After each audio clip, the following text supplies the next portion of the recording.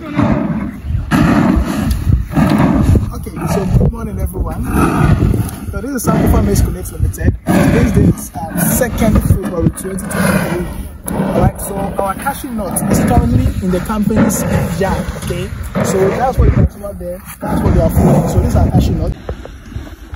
So as you can see what the guys are doing, um, they are currently drying the cashew nut. So after pouring it on the on the mat, they'll be walking through um, the cashew nut to 10, okay, to 10 a cashew nut, so that the undried ones get it right.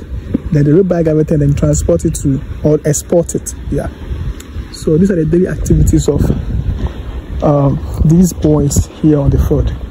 And as you can see, it's a cashew nut that they are currently offloading. So they are still on it. Yeah. Okay, so dry days for the whole day on the entire day and rip back everything during the course of the day and export it. So this is the end result of how we started everything or the previous video that we did. So thank you very much. Kindly subscribe to our YouTube channel if you've not done that yet.